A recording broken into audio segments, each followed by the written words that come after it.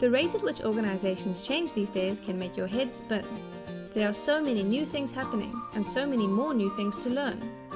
These include new systems, new products and services, and new processes and strategies. So it's safe to say that to succeed as a professional in today's corporate environment, one has to continuously stay up to date with new information. Traditionally, if people needed to learn something new, organizations would book them on a classroom training program. The problem with the traditional approach is that classroom-only training has many associated costs. These include the booking of facilities and facilitators, printing and logistics costs, transport and accommodation costs, and finally catering and promotional costs, not to mention the cost of the time away from the office. The other problem with classroom-only training is that once the classroom session is over, your only reference to it is a printed manual or complicated notes. You can't rewind a workshop. And when many facilitators are teaching the same thing across a network, the delivery of the learning could be inconsistent.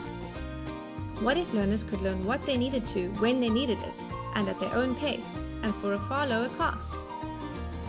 This is where e-learning comes in. E-learning, simply put, is the computer and web-enabled transfer of knowledge and skills, and includes computer-based learning, mobile and video learning, as well as virtual collaboration and corporate social networking. The benefits of e-learning will enhance the learner experience and ensure consistency of learning delivery. Many organizations worldwide have already adopted e-learning to various degrees and have realized tremendous successes. E-learning will help to lower, optimize, or even eliminate many costs associated with traditional classroom-only training.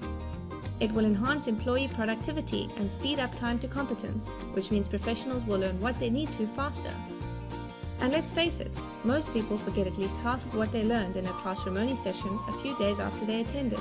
But with e-learning, you can actually rewind your learning and reference it as and when you need it in order to succeed in your role. So as you can see, more and more organizations are recognizing the benefits of adopting e-learning. Are you?